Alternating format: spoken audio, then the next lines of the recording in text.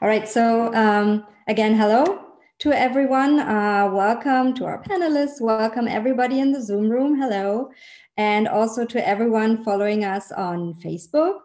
We're so happy to be here together, to see you uh, and to um, just discuss together. And uh, I want to start off with wishing everybody a happy Pride Month. So happy Pride. Um, and we will be discussing the situation of LGBT plus people in Russia. Uh, sadly, over the weekend, there have been uh, some developments that we will address as well, uh, and that just highlight how dangerous and hostile uh, the atmosphere uh, has become uh, for all those who are fighting for love and equality under the so-called anti-gay propaganda laws. And um, during this discussion, we will also spend some uh, a lot of time uh, asking our panelists uh, about um, how the international community can support them and what we can do together and as individuals to take action. Um, I want to also say that everybody in the Zoom room and on Facebook, you can ask us questions. Please do so uh, to everyone. Pose the questions in the comments on Facebook, in the Zoom chat, and we will try our best to address as many as possible. Um, and our panelists will be able to answer them after our discussion. And um, talking about uh, supporting our LGBT plus siblings in Russia, I want to start off with actually presenting a, a little opportunity on how you can support and uh, one of the reasons we got together today. Um, together with our friends from Unicorns in Tech in Germany, All Out has developed a tool that helps visualize the support we all feel in our hearts uh, digitally. And I will share really quickly my screen to show you uh, what I am talking about. Um,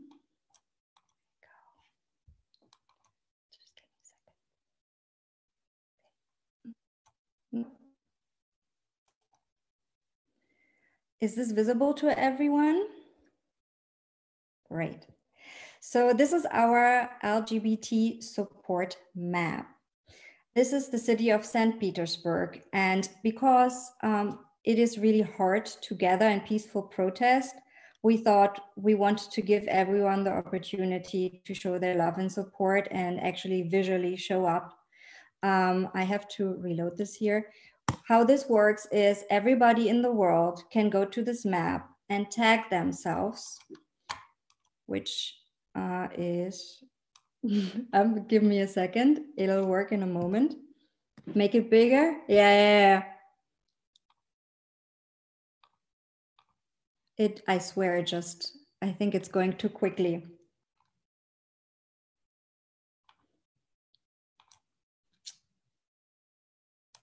Well, in general, you can tag yourself here and place your own flag. Place your own flag and decorate it with just emojis that show your support, your spirit, pride, uh, strength, and hearts to everyone in the community. And as you can see, there's already thousands of people that have supported us um, from more than 95 countries. So while we're speaking, please take the opportunity and tag yourself in that map to show your support. And now I will be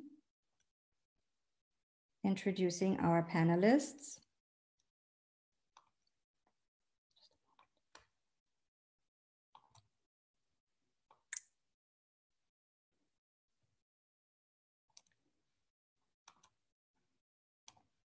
Okay. Sorry, that took me a second with the map. All right, so welcome to everyone once again from me. I will give a quick introduction. We have uh, Svetlana here, who is a feminist and LGBT activist and human rights defender based in Russia. She's also a board member of the Russian LGBT Network, one of the biggest organizations for LGBT right in, uh, rights in the country. Uh, we're also very happy to welcome uh, Yuri uh, Gavrikov. Gavrikov. uh, an experimental physicist um, who turned his attention towards LGBT rights and started to co-organize actually St. Petersburg Pride with fellow activists in 2010. Also welcome to Olga uh, Okhotnikova. Uh, she is a yeah, she is a human rights lawyer, journalist, and executive director of Coming Out, and before joining Coming Out, she also worked in the London-based NGO uh, litigating uh, human rights violations in post-Soviet countries. And she has also developed an online crisis center for Russian survivors of sexual abuse. Uh, and Polina Andrianova, who was born in Leningrad, uh, today St. Petersburg, welcome to you as well. Uh, after studying abroad, she actually returned to Russia in 2007 and started working in human rights, supporting LGBT people and other minorities. Hello to everyone. um, I want to get started um, with you, Svetlana. Actually, 2020 has been uh, kind of easing into it. uh, it's been um, quite a challenging year for all of us uh, around the world. And I, I want to know how the COVID 19 pandemic has actually affected your life and work, and how uh, did it impact the Russian LGBT community. Thank you, Stana. Hello, everyone, and happy Pride, everyone. And yes, of course, the obvious question, uh, the obvious answer is yes. Of course, uh, all the situation with COVID-19 affected greatly LGBT community and life in Russia in general. When people do talk about um, influence the effect of COVID-19 and LGBT community, quite many people talk about prides. But in fact, in terms of freedom of expression and freedom of demonstration in Russia, the situation didn't change that much. I'm sure that Yuri will talk uh, later on about that and can tell much better than I can tell uh, how it's going to be and actually if St. Petersburg Pride is going to happen. But well, we have like serious issues with the freedom to assembly, to peaceful assembly. And just yesterday, more than 40 people were detained just because they were organizing single man pickets in support of feminist and LGBT activist Yulia Tsvetkova. And Yulia Tsvetkova is also like, is a person who just published some pictures, very innocent pictures online.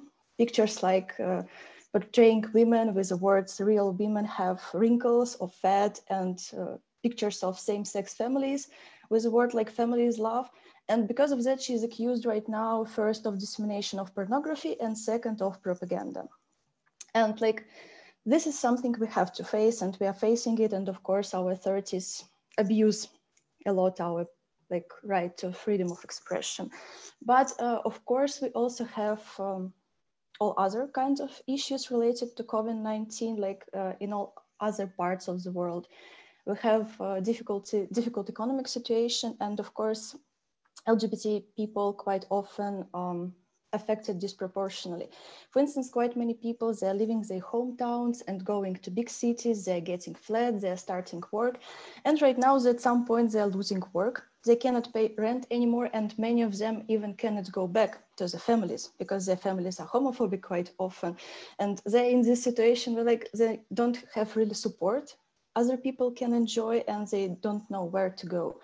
Um, of course, like transgender people affected even more because in Russia, quite often they work without like proper contract. And when they're losing jobs, they cannot even uh, get any like uh, public funds or any kind of reimbursement for this job. We have uh, a lot of difficulties with the psychological situation among the community. Of course, right now uh, we don't have that big like isolation me uh, measures as it was before, but people are still uh, anxious. They still don't know uh, how life is going to be later on, what's going to happen. So um, all other problems they have are getting bigger and more acute and we're getting more and more requests for psychological support. And in this situation quite many people they even cannot get this psychological support because quite often they're locked together with relatives who are homophobic or don't know about their sexual orientation or gender identity. So they even cannot get you know this like psychological consultation online. So like all kinds of issues. But i'm sure that more or less the same issues LGBT community face all around the world. We try to mitigate like all these things as possible, But of course, we cannot do a lot in terms of the size of the country because it's just huge. And we are like one of the biggest organizations in Russia, but still not big enough. But we were lucky actually enough to, um, to be able to relocate part of our funds to provide support for local organizations who can directly support people in the regions to provide food, shelter, hormonal therapy, like very, very basic needs. And well, at least we can do that. Yeah, I see. Thank you, Svetlana. Actually, let me segue into another question to you for that. Um, give us a little bit of a framework like how was is the current situation for lgbt you already started uh, getting into it a little bit in general and have there been any recent developments that you want to highlight? It is huge and it is a hard question to answer. In few sentences or even in few paragraphs um, i would say the situation is very very controversial there are many different layers and tendencies. Sometimes they're going into the opposite directions, and it's really hard to understand, even for me, what is going on. I would say that there are two big things. The first one I call the state. Uh, we have all this state sponsored propaganda, and it really exists. And on uh, like uh, federal mass media, which are state controlled, we can see this picture of uh, homosexuals, bisexuals, transgender people as I don't know, very dangerous animals. And most people in Russia, they're still getting most of information from TV and they have, you know, this image, quite a horrible picture. We have the police, which quite often refuse to register or to investigate cases. We have the situation in Chechnya, which still exists. And of course, it is an extreme example, but it's still something that is going on in Russia. And it is truly terrific. And there is another thing. And uh, it's very different from what I already described. I call it society. And society in Russia is actually more sophisticated than the authorities for like obviously. And I can see more people joining the movement. I can see more people who want to do something in different parts of Russia who are not ready to just, uh, you know, take it. They want to change the society. They feel uh, their responsibility for the society and they're involving more and more. I can see how young people are different. Just last year, there was a public poll opinion among school children. They were asked many, many questions and also questions about the LGBT community. And absolute majority of them said that they don't think that such thing as propaganda exists. So all these like children, people who were kind of protected by the state with this legislation, they don't believe in propaganda. And moreover, I think that more than 50% of them said that they are for equal marriage for everyone. And it is amazing. It means that the society is changing despite of like you know everything what's going on. And just recently there was this video rolling published by the state propaganda about um, same-sex parents to men who are adopting child from an orphanage. And basically the authorities tried to present it as you know terrific picture of the future. What's going to happen if like we will not change the constitution. But the truth is quite many people say it, wait, wait, wait, it's, it's not like that. It just like, it can be normal family, why not? And I was actually astonished by the level of support and it gave me a lot of hope actually that situation in Russia can change actually faster than I think. Yeah, so that is uh, good to hear. And probably in many countries, when you don't listen only to the propaganda underneath, there is uh, a lot of support, and those are the people we're counting on. Um, I want to go a little bit more into detail and actually ask uh, you, Polly and uh, Olga, a bit about the situation in St. Petersburg. Uh, Coming Out has recently published uh, as, um, a report on the situation of LGBT community in St. Petersburg. And I was wondering if you could tell us a little bit more about your findings uh, compared and compare 2019 to previous years and see what you make of that. Um, I don't know who would like to start. Just go ahead. Sure, I'll start. So, um, firstly, thank you for inviting us. And I'll just say a bit about Coming Out in general. So, Coming Out is the largest grassroots organization in St. Petersburg, and we operate since 2008. I've joined it quite recently, about three months ago. And during this time, we indeed published the report. And comparing these findings in 2019 to 2018 and the previous years, we would like to say that there are actually no significant changes. So statistically, uh, nothing really changed. Uh, there are several important um, cases that happened in 2019, such as killing uh, a, murder of Elena Grigorieva in July 2019. So, and it has several important consequences. So, firstly, she was quite well known in the community and many people knew her personally. So, for them, it was uh, a huge stress. And uh, secondly, since we connect uh, her murder to uh, the movement called Pila against LGBT. So because she received threats, uh, sorry, threats from them. So we see it as, as this sort of breach between hate speech and hate crime. So the community is actually, uh, so now they actually see the, uh, the threats as something real, something that could uh, endanger your life. And these fears are further justified by the fact that the police uh, is as homophobic and transphobic as they used to be. So that is why statistically uh, nothing realistically changes. And uh, we also see that the police is using uh, this vulnerability that the community has uh, for their own advantage. So they try and fulfill their own plans, uh, knowing that LGBT people are less likely to come and report. So they, for instance, use these dating apps uh, to sell drugs to gay men. So they also use fake dates, uh, which is when a, a, gay man goes on, on a dating app to meet another man. And when he arrives on the spot, there's someone else and they try and extort money. Uh, knowing that the person feels so much shame because of their sexual orientation that they wouldn't go to the police. So we also know that uh, there are some fake dates gangs operating in St. Petersburg, and that some of them even have former policemen operating within these gangs. So they know very well all these mechanisms, and it's quite uh, quite terrifying, I would say.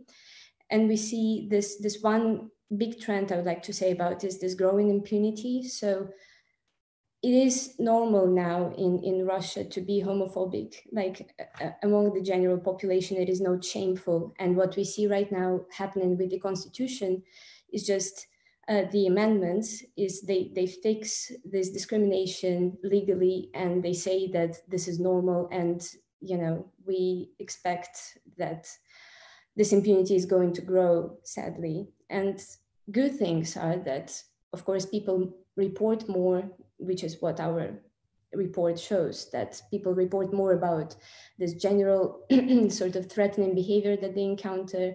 And it's not that this threatening behavior uh, has become much more often but people just report it more. And that is why we value our work and we would like to continue it and gather as much information as we can because still what we gather is kind of tip of the iceberg and there are many more lgbt people in st petersburg now I'm just delegating to Polina.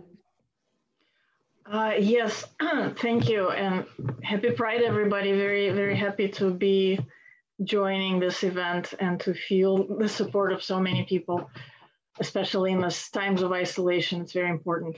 I just want to add a little bit about uh, why we do this, why we gather this um, um, data on discrimination, violence against LGBT people. This, of course, constitutes the basis for further evidence-based advocacy for us. And without this evidence, uh, our case is not very strong.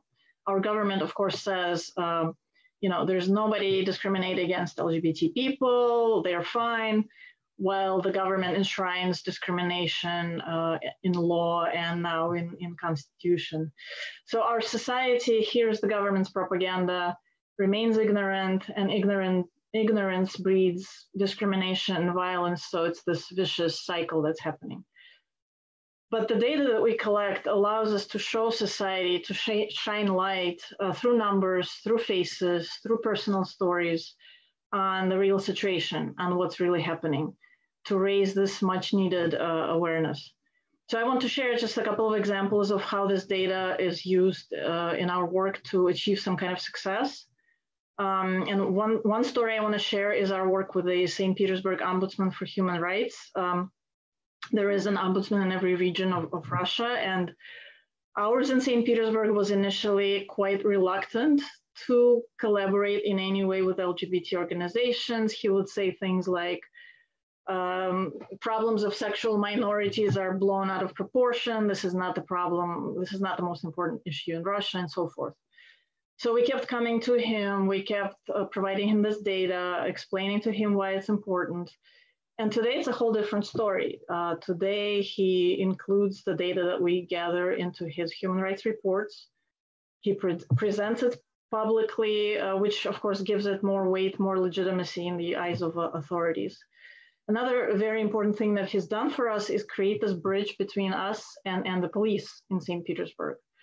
Uh, and thanks to this, for a couple of years in a row, we were able to organize more or less safe uh, public rallies, uh, the largest LGBT rallies actually, that were able to gather 200, 300 people under some protection of police. Um, and what's hugely important about that is that um, there are a lot of LGBT people who are not ready to be on the for, like forefront of activism. They're not ready to be to take on risks like being arrested. So, so this kind of collaboration with police allows us to uh, provide them with spaces where they can, with spaces of pride where they can show that they're part of the city and feel a little bit safer. Um, one more thing I want to mention is working with allies, such as businesses. Uh, the bad news is that our, our survey shows that the situation of LGBT people at the workplace is not so good. About 66% of people experience some kind of harassment, bullying, talking behind their backs, outings, and so forth. But the very good news is that today we see businesses that two, three years ago were just running away from LGBT topic as a plague. Uh, today they are much more open to collaboration and we launched a project to help businesses to um, improve the atmosphere at the workplace to make workplaces more friendly for LGBT people. And it's businesses, multinational firms, and small businesses.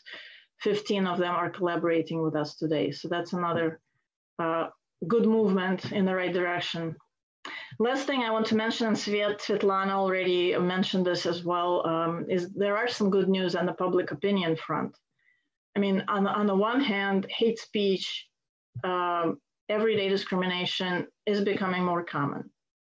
But on the other, there are actors in society who are beginning to speak up for LGBT rights, um, bloggers, journalists, performers, actresses. So this, this is going to be a very important going into the future.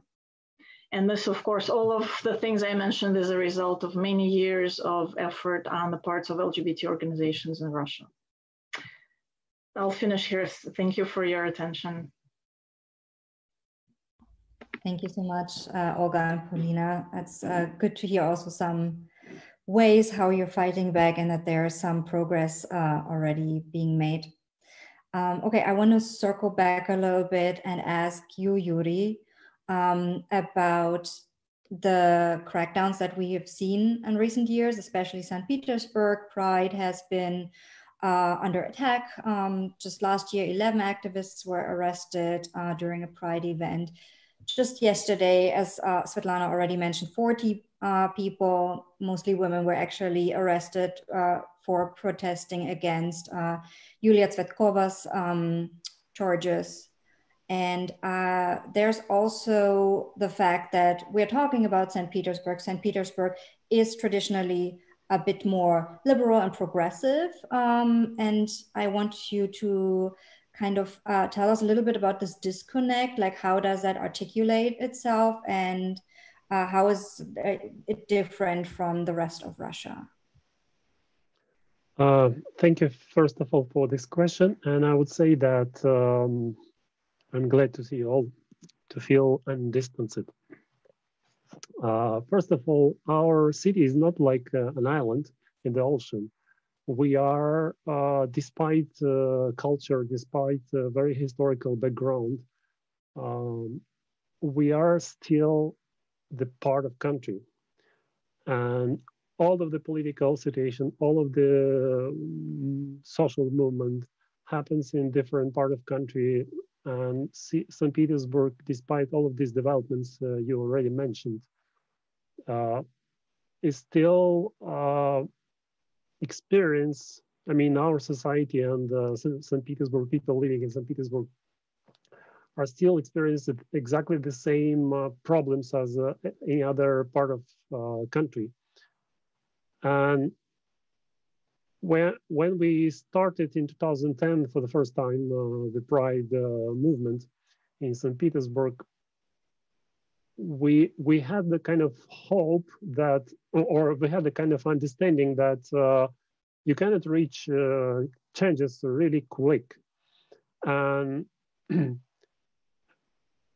and for these 10 years we had uh, we have observed many uh, many changes for example the terminology in the media uh, changed quite a lot. Um, like 10 years ago 15 years ago when some media mentioned uh, uh, lgbt they always mentioned something like sex uh, minorities.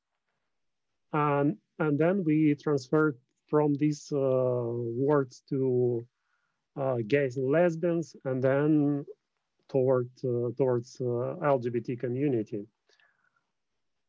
And it's important because it's not just about sex. It's not uh, about uh, something related to, uh, to, to interaction between people.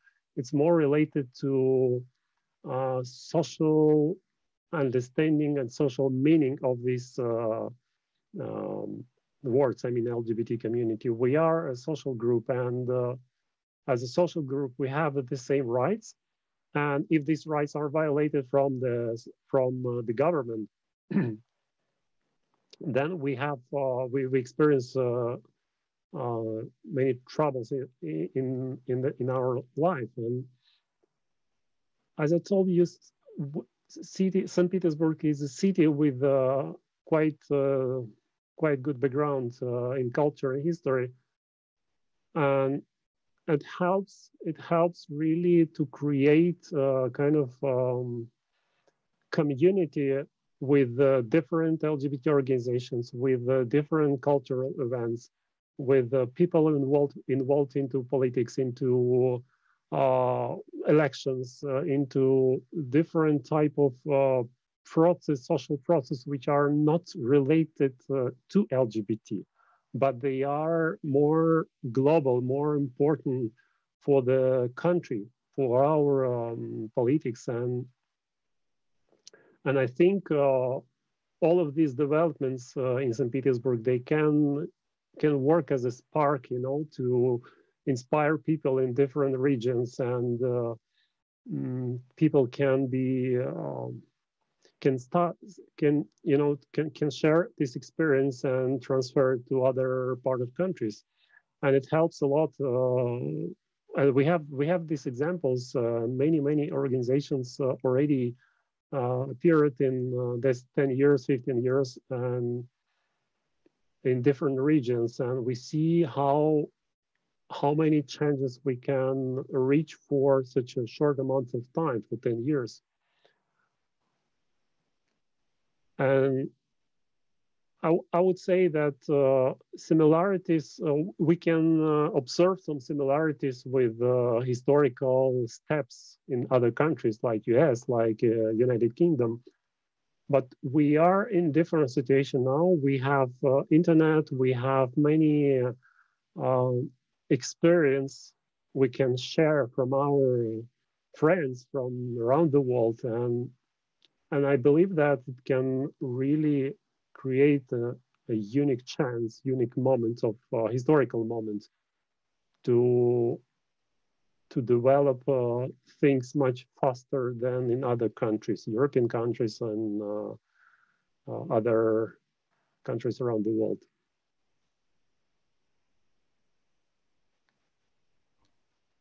Uh, thank you so much, Yuri. Um, that is um, actually the perfect segue to the next thing I wanted to ask you all, actually.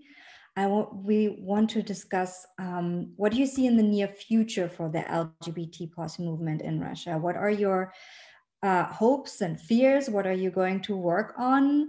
Uh, you don't have to um, spend 10 minutes on everything. Just like give us the key points where you feel uh, the most work should be done and can be done. Uh, Svetlana, would you like to start maybe? Yeah, I actually already said that I'm quite optimistic and maybe too optimistic, but why would I do all these things and why would I be part of LGBT plus movement if I wouldn't believe? I actually think that the situation with LGBT plus rights is changing very fast and is changing to the better. And of course, there is a backlash, and it's kind of not only in Russia, but in all parts of the world. And I see this backlash, but at the same time, I mean, I can see how things are changing, and Polina was right it's a lot of efforts of people who are working for many years like many many, many maybe tens of years. And there is there are some results. So i'm actually very positive and i have a lot of hope in new generation and people who are well still quite, quite different from like ourselves. I, when i talk ourselves i'm talking about people who was born in leningrad as well as polina i think that they're different and yeah let's hope Thank you. Well, Polina, would you like to follow up on that? Sure, I'll just turn my microphone on. um, yes, I, I, agree very much with what, Svetlana said. Um, on the one hand, the political situation is it's not getting better. It's not probably going to get better in the nearest future. And unfortunately, the space for uh, rights and freedoms is is is shrinking, as as actually in many countries of the world right now, which are not so expected, like like the U.S. Um, but um, I'm still also quite optimistic that working for LGBT in Russia can can is there's still so much that we can do to improve lives of LGBT, maybe not working with the vertical power structures as in traditional advocacy, but working horizontally with society. Um, as was already mentioned, uh, we, we, we see already how media coverage of the more independent media sources has been changing, has been improving. And that's a result of, of regular everyday work of meeting with journalists, of providing training for them on how to speak more correctly uh, in developing relationships um, um, with, with friendly journalists to, to with, with a widening circle of, of friendly of allies. Uh, we also see how the LGBT movement is growing, gaining visibility, strength, competence, uh, solidarity between different groups is also very important and we see how more allies join the, uh, the fight.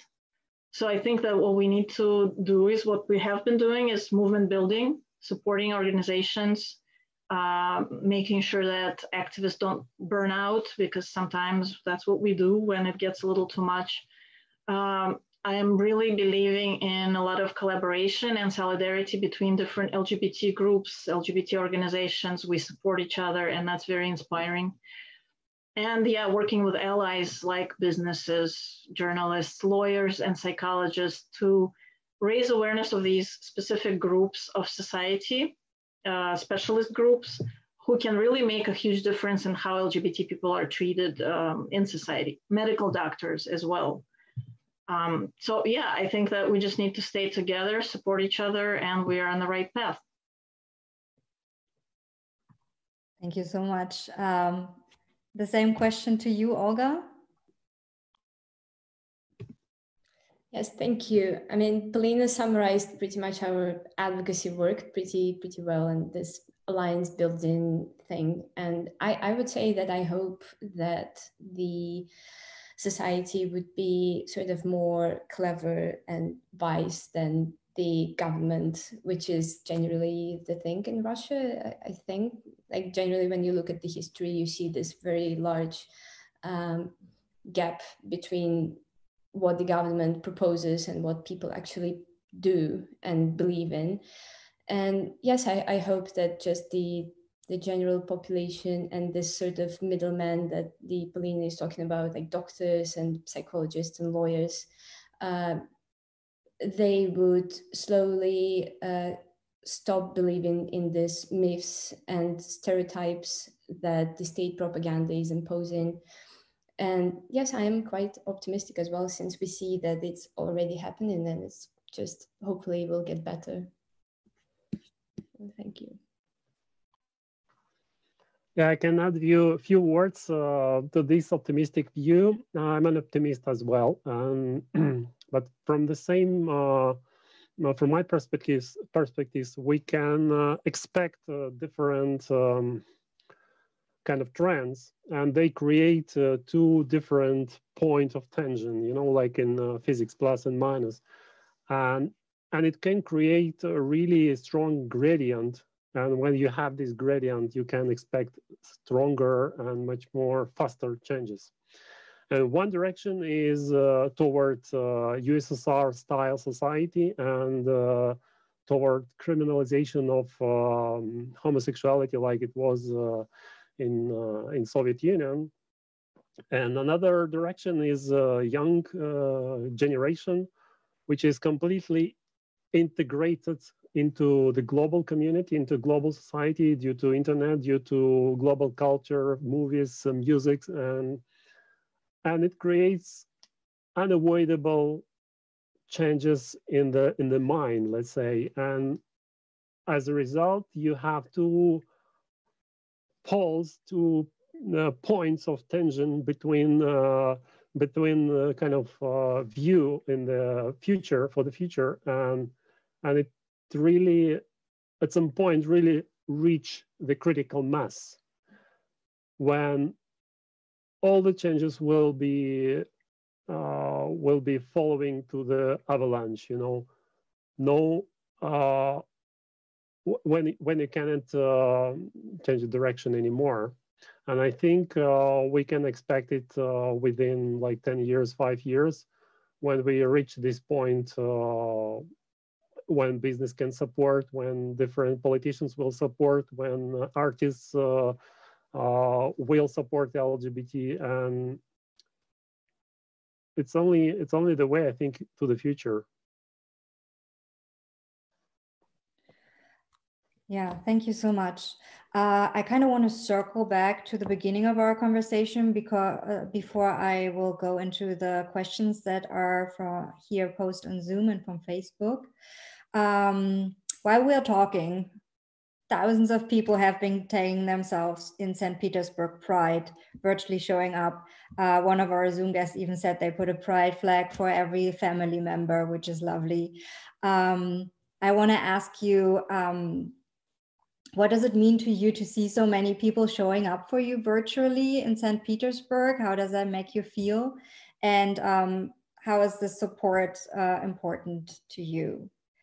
Um, so maybe we are going the same circle around again. So um, Svetlana. Well, I truly believe in the global LGBT plus community. I believe that there is a strength in it and there is a beauty in it. And of course, it's great to see that so many people from all parts of the world are coming to the website to support us and our fight. And for me, it means like that we all do something, something important, something to change not only one place to the better, but to change all the world to the better. So it's really touching for me. Thanks, Svetlana. Uh, Polly, would you like to say something? Yes, I, I totally support. I agree uh, with, with Svetlana. It's it's this kind of support is so important because sometimes you see that uh, international community sometimes conflates Russia as in Russian government with, with Russian people. And uh, sometimes people feel that the cause for LGBT rights in Russia is, is just hopeless. And so we see that support and attention, you know, moves away from Russia.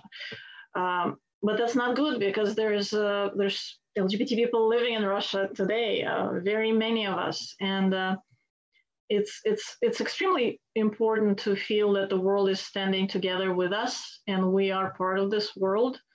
Uh, it gives us a sense of larger community that we belong to and um, definitely makes us feel less isolated. So we, we in our organization, we always inform the community as much as we have access to the community and we have about 30,000 subscribers in our net networks, social networks. We always give as much visibility to this kind of support as, as possible. And it is uh, very empowering. And I thank you very much, everybody, for being with us in this way. Thank you so much, Olga. Thank you. Um, I would say that when I, uh, this morning, I also opened this map and I just saw this amount, a, number of, of flags, and I felt the same way uh, I believe I, I felt when I actually visited offline events. And it's about this feeling that it's just about love and it's about this freedom and support that just comes, uh, it reaches you from everywhere. And I, I think that would be amazing if more people could actually feel it. I mean, even if it's online uh, and it reaches you uh, so strongly. And because in Russia, many people, they believe that prides, uh, offline prides especially, they are about lobbying someone's interests. You know, it's, it's about some people just organizing and US government possibly sponsoring them and all this. So when, when you see this support just being illustrated like this on the map, you understand that it's not really about that. So it's it's about this global feeling of yeah, as, as I said before, of, of love and uh, of acceptance of another person. So yeah, I wish I wish it could be more often. It could just stay like that. And thank you.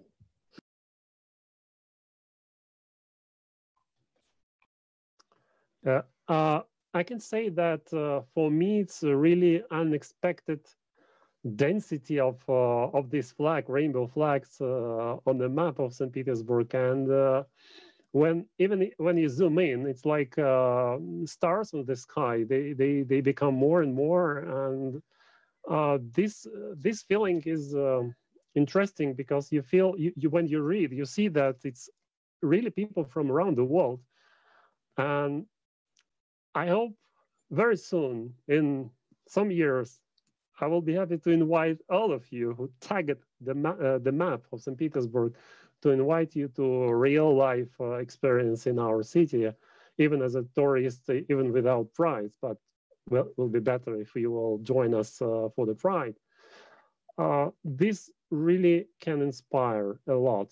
And this uh, this feeling give us give us a hope that uh, we can continue our struggle towards uh, equality.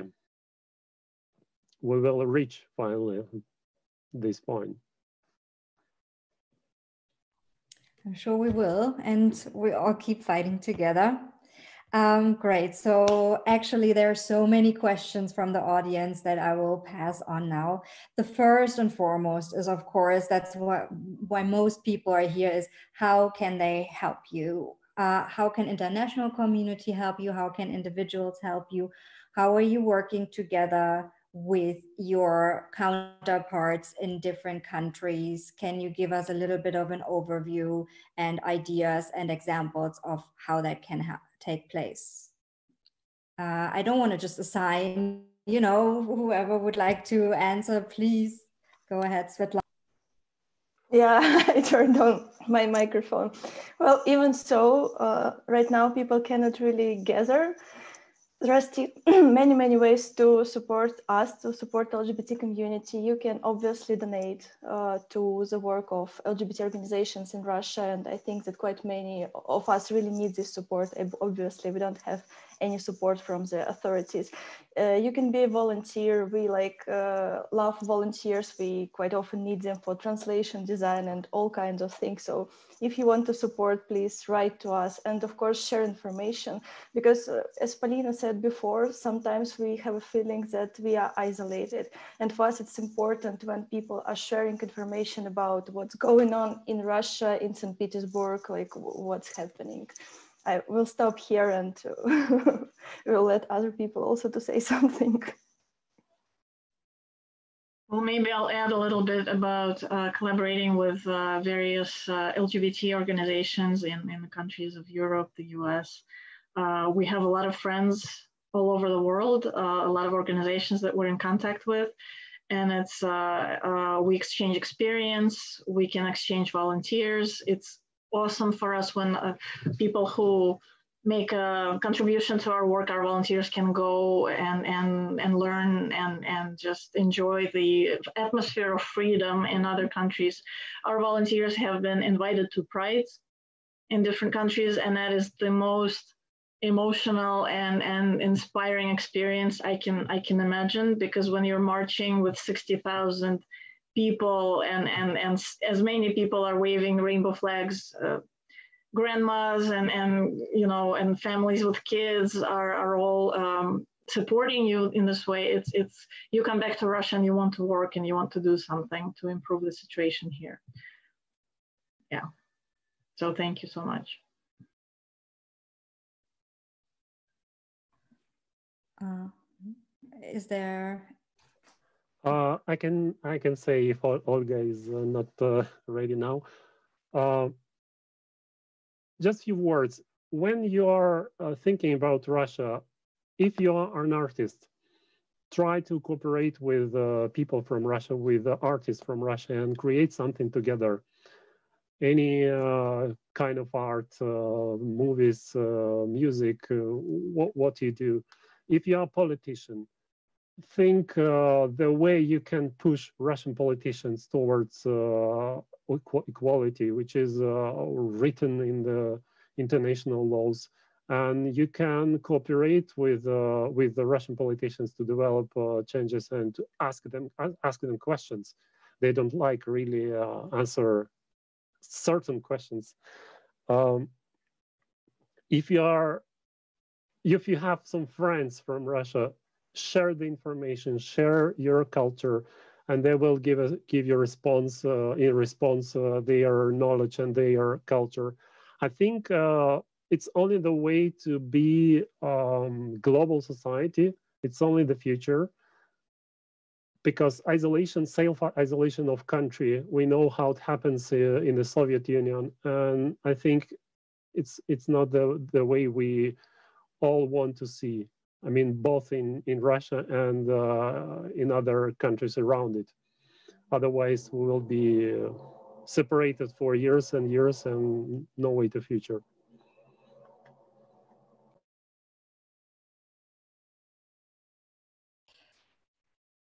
Um, Olga, I don't know if that is a, you want to speak or Yeah, sorry, sorry. No, I, I believe that everyone said what I was thinking about. So since me and Polina we represent the same organization, we'll just switch. Thank you so much. Um, another question is a bit more specific. Uh, Sue from York is asking how you're tackling the link between church and state, how church is intervening in the discussion of LGBT policies. Um, maybe you can say a few words to that and how that's involved in your work.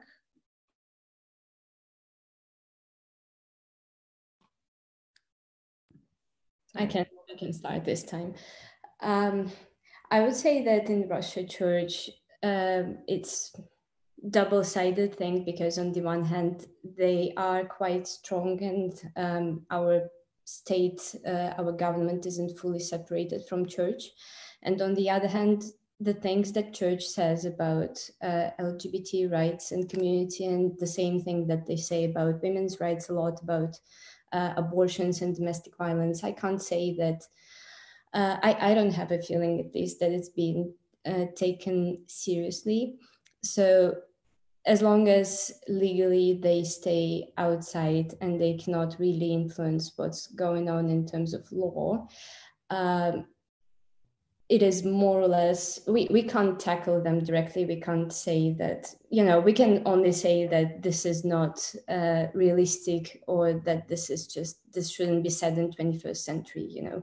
So we can't go and sue them. Uh, on on the other hand, I would say that a lot of uh, people in the in the community, they um, or maybe not a lot, but there are some people who are religious and that that would be uh, a huge dilemma for them because the church doesn't uh, accept them and maybe not even Orthodox church, uh, other other religions. And this this is the issue that we can work with. So some of our um, support groups, for instance, include discussions on this topic, uh, which is good and this is productive where people could find how how can they believe and at the same time be uh, you know rejected by this church but there is no final decision of this question just yet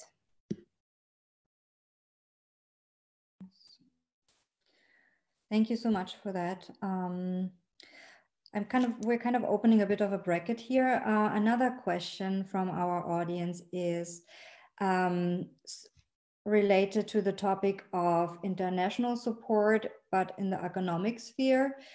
We have seen a huge rise in popularity of private sector and big companies embracing diversity, supporting LGBTI rights. Um, has you you mentioned that you are wanting to work with companies, but they they this kind of spirit has not yet arrived. Uh, do you have a game plan? Do you think that um, this tendency will also arrive in Russia? Uh, or are you already having some good examples of that? You already mentioned that there is a small network. Um, can you talk to that a little bit? Um, yes, so this is this is what we've seen as well as, as, as businesses becoming a little more open to dialogue with LGBT organizations around topics of how they can promote diversity.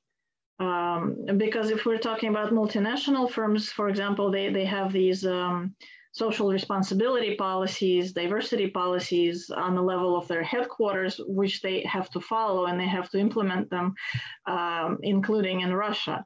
Um, so so they are trying um, there is a there is some will to do that but what we see is that they are mortally afraid they're um, afraid of everything. They're afraid of a propaganda of homosexuality law which actually does not apply to to to them because if we're talking uh, for example about creating safer spaces safer workspace workplaces for lgbt people uh, that does not involve working with minors in, in any way. And this propaganda of homosexuality law in russia is is it only uh, concerns information about homosexuality given to minors but they're still extremely afraid because um, the way things uh, work in russia is, not it doesn't have to be completely um, fitting under the law. Uh, basically, if, if a company becomes in the media uh, associated with working with LGBT,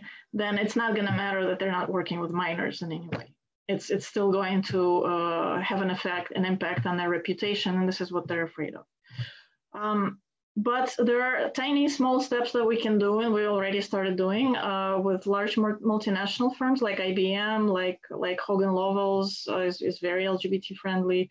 Uh, the, the, their branch in Russia um, is to, uh, for example, provide trainings for HR departments on how to um, more ethically and correctly work with LGBT employees on how to handle complaints about harassment or violence from LGBT employees, on how to create a more inclusive atmosphere, on how to work with general employees so that they are more um, aware of this, these situations. Uh, so, so yeah, this is what we're doing. We're creating trainings for HR uh, personnel we are uh, uh, running surveys on how LGBT people feel in different organizations and create platforms for experience exchange and exchange of best practices between these organiz- between these businesses. Um, another thing that we can do is with smaller local Russian businesses.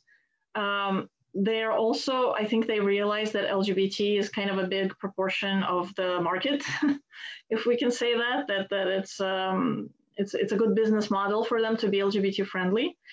Um, so sometimes what we can do is again provide trainings for their staff uh, on how to work more ethically with LGBT people, how to provide ethical services, um, and then we inform our communities that this this local business, for example, went through our training, so they should be friendly and uh, and, if, and then we gather feedback from people who have visited these these uh, these businesses to make sure that they are indeed friendly. So these these kind of things we we are developing, and um, I foresee that it will be like an exponential growth of companies that will get involved. Well, we hope so, and we wish you best of luck with that. And I'm sure there's a lot of organizations out there that will be happy to support you and work with you as well.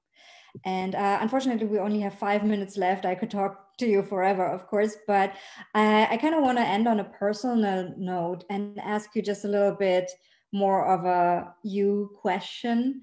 Uh, Yury, actually, I want to ask you because we're talking about St. Petersburg Pride, we're talking about Pride, you have been co organizing it. What does Pride actually mean to you personally?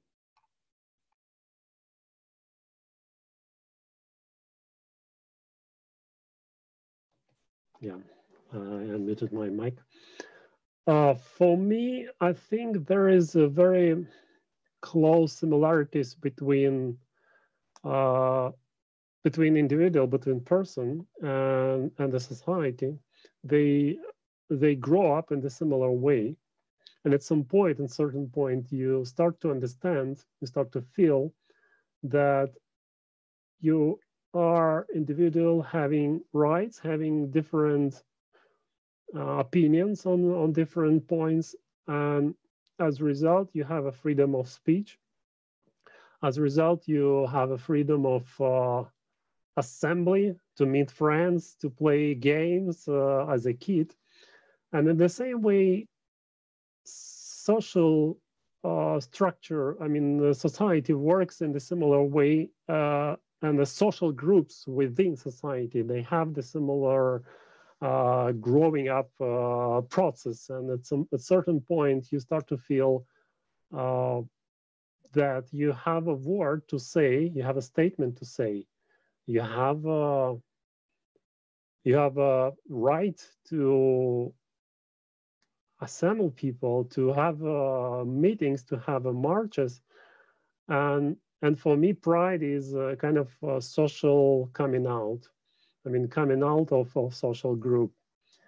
And it's like close similarity, I think, uh, an understanding of this of this word. And of course, uh, other part, other side of this word is uh, to feel a dignity who you are, because you deserve to be who you are, not uh, uh, to be someone who who is uh, affected by you know government, by parents, by friends. But if you feel something interested in you know in science, in music, you have a right to do it. And the same for for a social group as LGBT. And I think these two sides of coins reflects uh, well my my feeling about pride. Uh, thank you so much. Uh, one more quick question to Polina. Uh, well, I don't know how quick it is. Um, how has the fight for love and equality in Russia impacted you as, as a person? Uh, how, has it, how has it changed you personally, politically, socially? How has it affected you? Uh, yes. Uh, well, I've been I've been in uh, in activism for the last twelve years. Um, so actually, from the beginning of, of our organization, and um, these have probably been the most meaningful years of my life. And I have to say that, you know, it's one thing to watch the, the injustices that are happening around, um, the ignorance, the, you know, the, the just, uh, just bad things uh, happening and to be a passive observer, it's very difficult because then you feel uh, powerless and you feel more as a, as a victim. Um, and it is just much more empowering to ac- actually actively fight against these injustices and try to change something. And that's why i'm doing it myself and that's why i am um, i take great joy in doing whatever i can do to to help other lgbt people to regain their dignity um, and and feeling of self-respect to get actively involved in defending their own rights and the rights of, of, of the of their loved ones. I think that it, it gives people this great boost of power and um, sorry. It's it's uh, it's very empowering to everybody. And i also take uh, great joy in in seeing how constructive engagement and uh, dialogue helps us uh, change hearts and minds of people around us because this has also been happening so this is very inspiring work to me although sometimes quite uh, stressful and sometimes you're I'm close to burnout but i always come back with this uh, uh, feeling of empowerment uh, with the thought that in the long term we're moving in the right direction. Well, those are the perfect closing words. Thank you so much. Um, I want to thank again everybody uh, that came to listen to us on Facebook and Zoom. Thank you so much. Thank you, Svetlana, Polina, Olga, Yury, for taking the time to talk to us, for all your great work. Um, and please go and point your uh, pin your flag in St. Petersburg Pride to uh, virtually march together with these great activists. And uh, yeah, thank you so much. Happy Pride, everyone. Happy Pride Month, and uh, goodbye. Thank you. Happy Pride. Happy Pride. Bye bye. Happy Pride. Thank you. Bye bye. Bye bye.